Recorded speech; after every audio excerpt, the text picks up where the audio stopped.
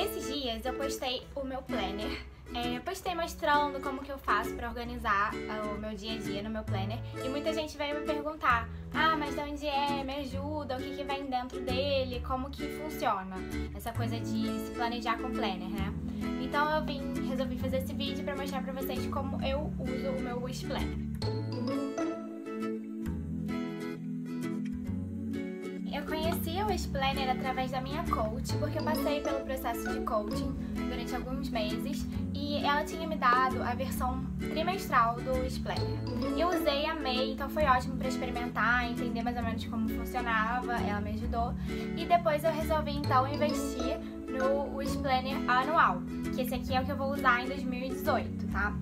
Só que como ele não tem data, o que é um benefício grande, ele não é datado, então você pode começar quando você quiser, eu resolvi começar ele agora em dezembro de 2017, porque eu já tô com ele em mãos e, enfim, já quero planejar o meu novo ano. Muita gente também gosta de pular o mês de férias, tipo, tá viajando e aí não quer é, organizar no planner.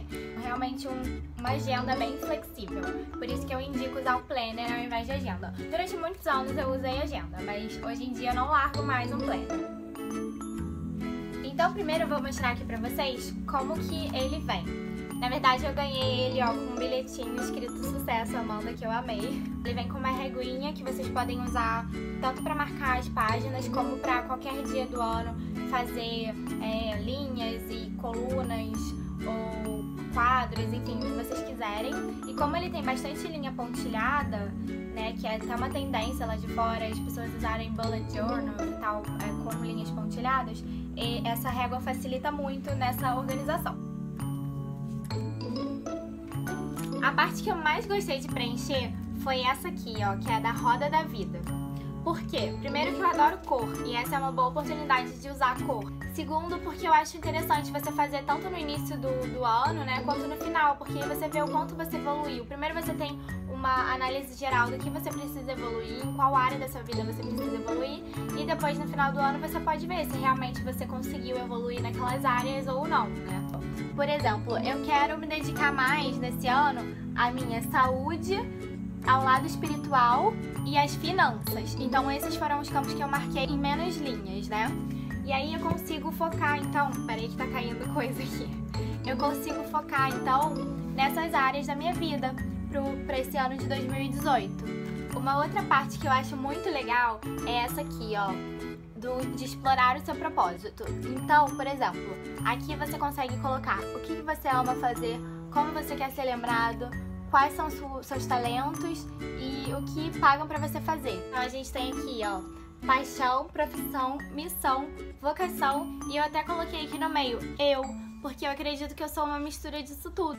E agora eu vou mostrar para vocês a parte mais legal, que é a dos dias mesmo da semana.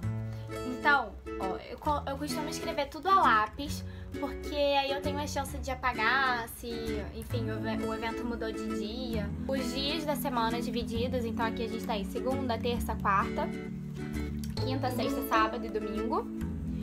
E tem também um campo para listar as tarefas que você tem que fazer durante a semana, o que é ótimo porque você tem uma visão também geral do que você tem que fazer e depois você vai organizando de acordo com os dias, o que, você vai fazer em cada dia. Ou você pode usar de outra forma também, tá? Eu tô falando da forma que eu gosto de usar.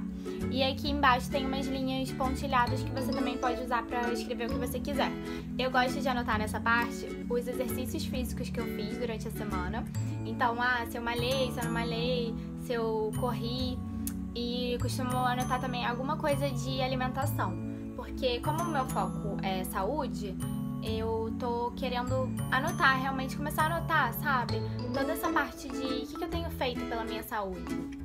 E eu achei muito legal também que aqui, aqui em cima vem escrito prioridade da semana e aí você coloca o que, que você quer fazer na, naquela semana. Então, para mim, por exemplo, a prioridade dessa semana foi finalizar as tarefas de novembro, é, médicos e planejar dezembro. E essa parte aqui, ó, que é do calendário mensal.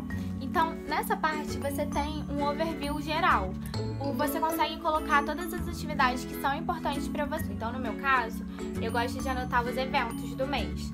É, aí eu, eu, começo o mês já sabendo onde eu tenho evento e o que, que eu tenho que fazer para aqueles eventos.